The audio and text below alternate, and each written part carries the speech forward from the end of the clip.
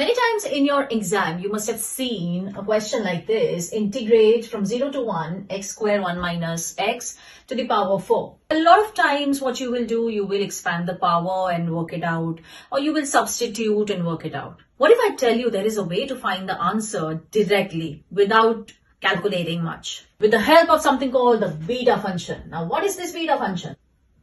Beta with two parameters m and n is equal to the integral 0 to 1 x to the power m minus 1 1 minus x to the power n minus 1 dr m and n both are greater than 0. The golden rule here which will help you out in solving any such integral in a jiffy is the relationship of beta with gamma. Basically beta mn is equal to gamma m gamma n upon gamma m plus n.